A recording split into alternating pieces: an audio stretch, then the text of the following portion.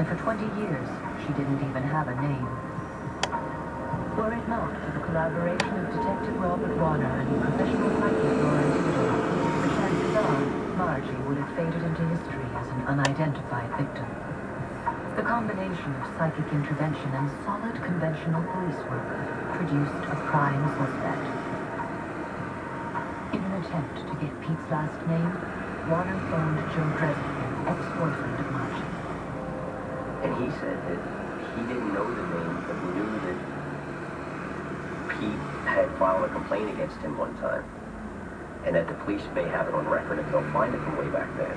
So at that time, I contacted uh, New York PD, gave them the information that I had, and they were able to come up with a report, fax it to me in a couple of days, and it came back with Peter Williams. Used Williams' social security number to track the fugitive. He discovered Williams was drawing welfare checks in Milwaukee, and he had been a truck driver, just as Lauren had predicted. One of his main routes had been Brooklyn to Wisconsin, which would have taken him past the Great Lakes.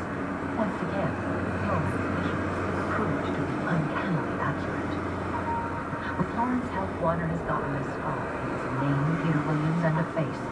But has he got the hard evidence needed to convict the man he believes murder murdered Margie Cassiano? When I first met Pete and I walked up to him, I advised him who I was and the reason why I went to talk to him. And the blood drained from his face. You could see him just literally turn white.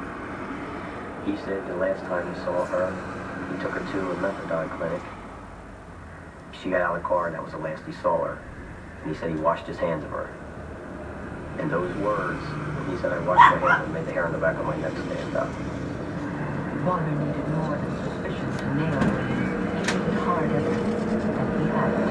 When he took over Williams, all the evidence was resubmitted back to the lab. Improved forensic technology revealed a single hair embedded in the army blanket used to wrap Margie. To prove it belonged to Williams, he needed to get a DNA sample. Felt like he had that licked because he